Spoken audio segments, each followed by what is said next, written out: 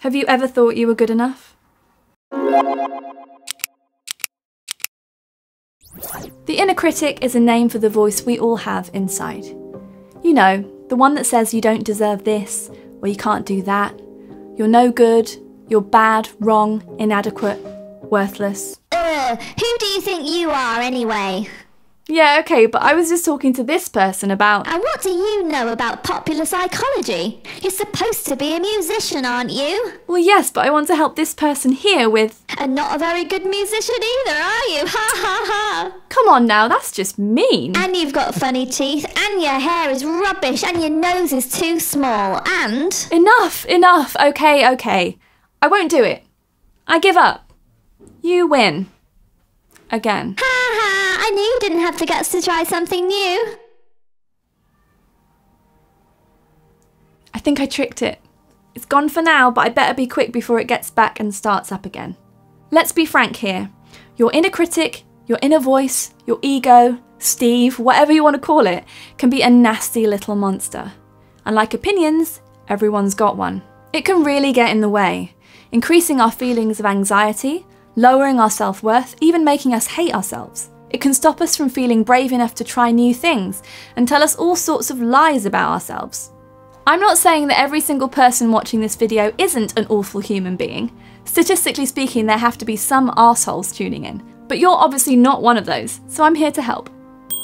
What are we going to do about this gross, intrusive little creature? We're going to slay it.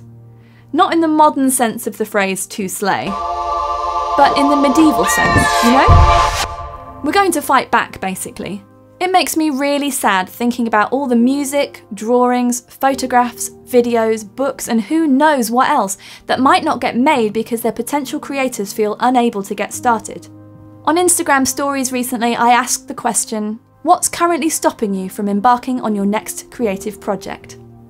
The answers were interesting and quite repetitive. I don't have time. I don't have any talent. Lack of money and equipment. Children. Money and time. My day job. A loss of confidence. Talent and ability. Fear of the unknown. Lack of time. Time. Lack of energy from my day job and money. Learning how to use my equipment. Me and my brain. Now, these are mostly lies, lies and excuses. I don't blame the lovely people who wrote these to me, not one bit. They're great people, and so are you. But the more I read through that list and thought about what those simple sentences were really saying, the more I realised that bloody inner critic was speaking for them. Why, yada. I really am here to help, so I worked through the list and divided the lies and excuses into four categories lack of money or equipment, lack of talent, lack of technical knowledge, lack of time. I get it, I really do. I've told myself all of these things in the past, and more, and truly meant them. Let's take a closer look at this list. You need equipment to do your creative thing, and you need money to get the equipment. Or you need more money to give you the time off work to spend on your creative thing. You don't have the money, so you can't do the creative thing. Why this is your inner critic talking, and how to shut it up. The fanciest camera, shiniest guitar, or poshest pen in the universe does not have the power to make your work good. Only you have that power, and you can absolutely find a cheaper way of getting started. Could you borrow equipment from a friend?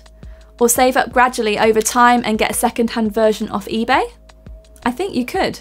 That's how I got started. We can't always start a project with the perfect set of tools, but we can start.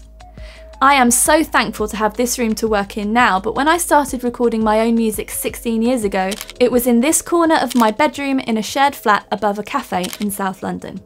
And I made it work. But I wasn't born with the innate ability to write the novel of my generation, or play the trumpet, or paint a photorealistic picture of a dog wearing a crown. Me neither. Guess what? My first dozen songs sucked. Seriously. But why should they have been great? Why this is your inner critic talking and how to shut it up. We see the finished versions of other people's projects and compare what we think we're capable of to that. What we think we're capable of is very often far below what we're actually capable of, or could be capable of if we pushed ourselves, or studied the thing we want to get good at, or worked with a coach. Talent is seriously overrated. What actually matters is doing stuff, turning up consistently and doing the work. You only get better by doing stuff. So do stuff. It's overwhelming when you want to do something but you know you don't know how to do it. Perhaps you need to learn how to use some software or hardware, but you're not sure which software to get, and anyway, if you did get it, you don't know how it works, and screw it. I'm not doing it. It's too hard, and that voice in my head keeps telling me I'd be no good at it anyway. Why this is your inner critic talking and how to shut it up. There has never been a better time to not know how to do something, because it couldn't be easier to learn how to do pretty much anything, usually for free, on the internet. Are you absolutely sure you could never learn how to do that new thing? But you learned how to do that other thing, didn't you? In fact, everything you can do now, you learned at some point in your life. You can learn. You have learned. You will learn again. And look, you're in exactly the right place to actually do some learning for free. Are you learning now?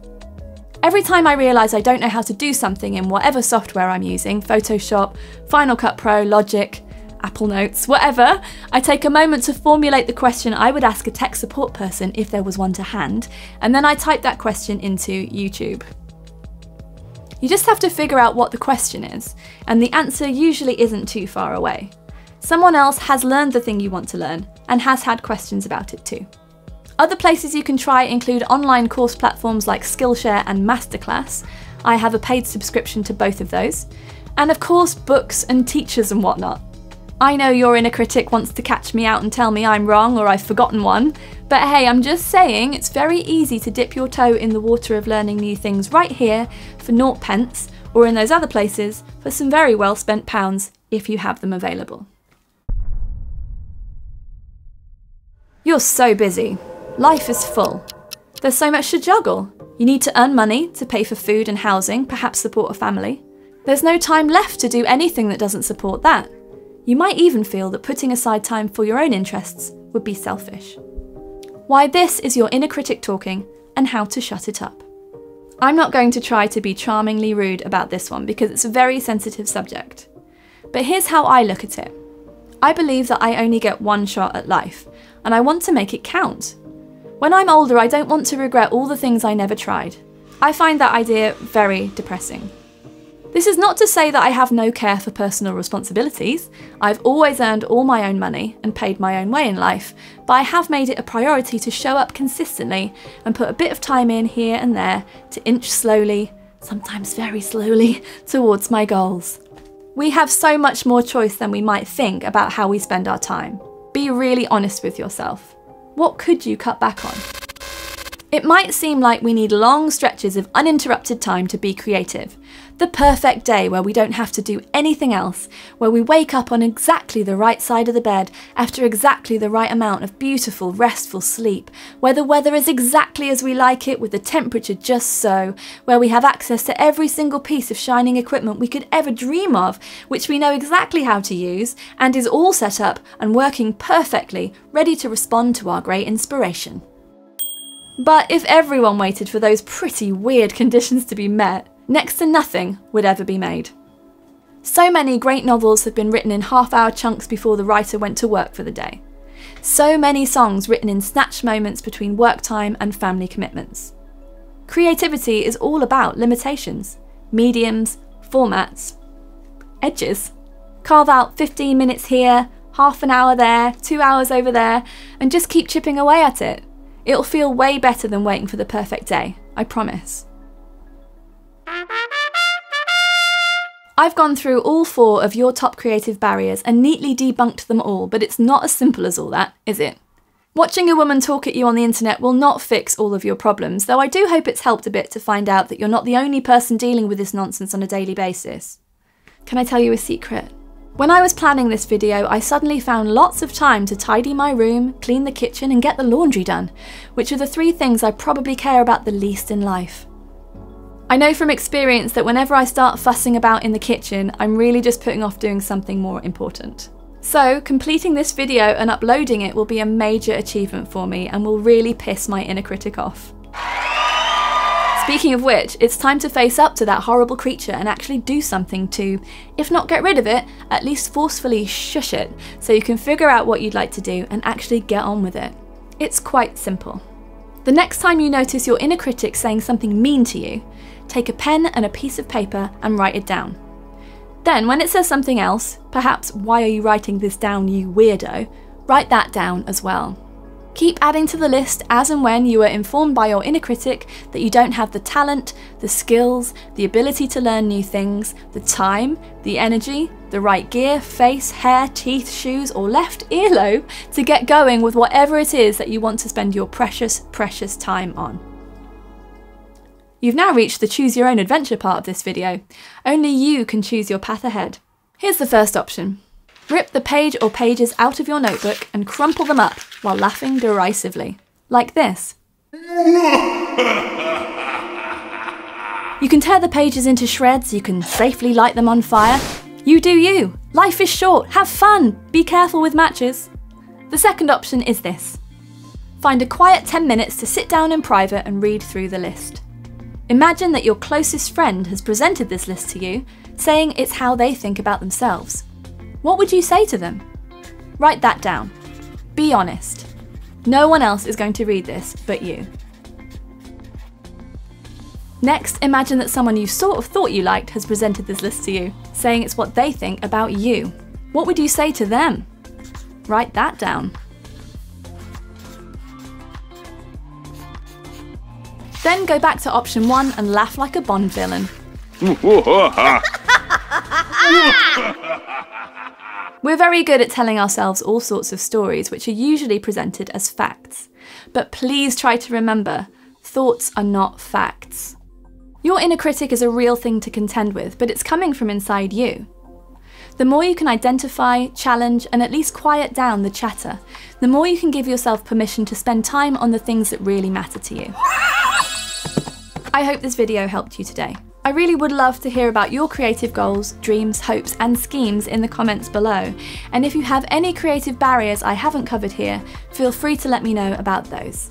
If you're new here, my name is Laura, I make music as Penfriend, and my new album Exotic Monsters is out now. I'll be sharing more on creativity, mindful productivity, and digital minimalism in future videos, so if you have any suggestions or questions, I'd love to read those too. Thanks for watching, and good luck in the fight against your inner critic. You can do it.